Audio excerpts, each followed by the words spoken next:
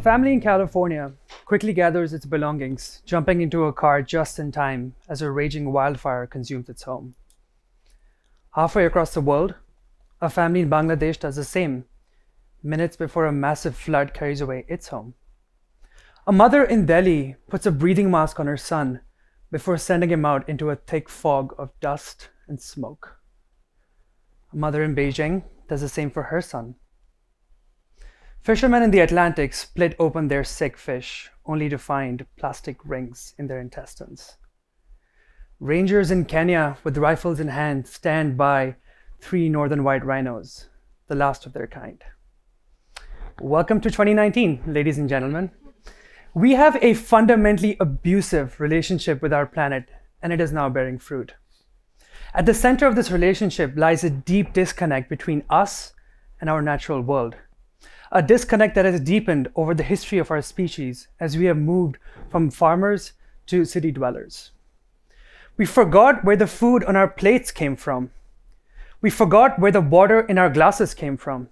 We forgot where the metals in our smartphones came from, and we forgot where the rubber for our tires came from. We forgot that we are intertwined with the natural world, that we have a relationship with the natural world, and most importantly, that we depend on the natural world. The natural world, though, did not forget.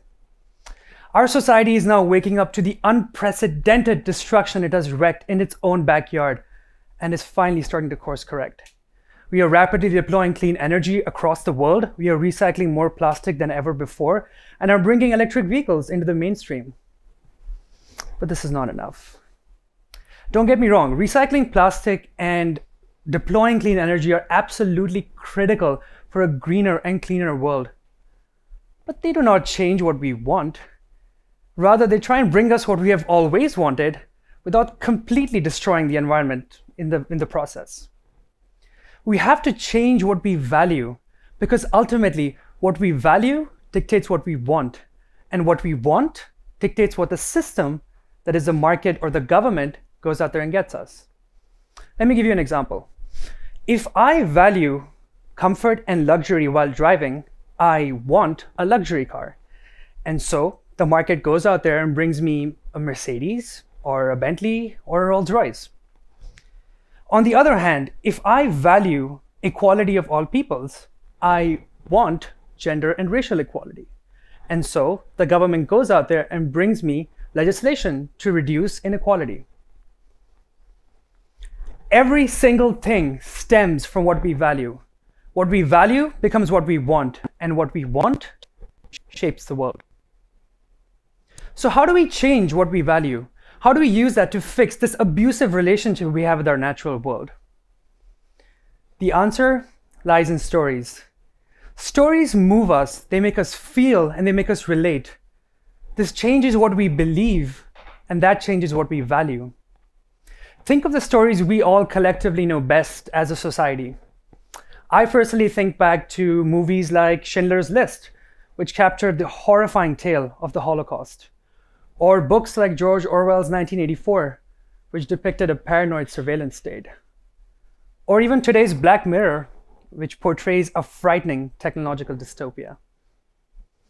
These are all art. Great art is part of the solution because great art is a powerful storyteller. It can make us cry, it can terrify us, and it can fill us with joy all over people we will never meet and situations we will never witness. Great art tells great stories, and great stories stick in our heads. Great stories change what we believe, and great stories change what we value. Great art shines in making the abstract concrete, in making the unrelatable relatable. This makes it a particularly good storyteller for our natural world. A world that, for most of us, let's face it, feels so out there, so far removed from our daily experience that it's really hard to relate to. And that's why it's really hard to care about. I mean, after all, how often have we found ourselves walking through this concrete jungle thinking of the actual jungle? And so, what we need is a mass mobilization of the arts. We need to uplift brilliant artists and we need to unite them behind a common story. That we as a species depend on the natural world and that our fate is tied to its fate. Because ultimately, every single thing stems from what we value. What we value becomes what we want, and what we want shapes the world. And the arts can make this change. They can make that difference. And the reason I know this is because they already have.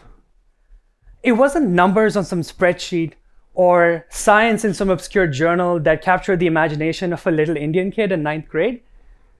It was the inconvenient truth, a riveting work of art that set him on a path to dedicate his life to this cause, a path that has brought him to you today. So let us remember that the world of today was just built by people like us, and that it is up to us to shape what we want the world of tomorrow to look like. If we lead with our values and if we value our natural world, we will build a rock solid foundation for a better society that will last generations into the future. Thank you.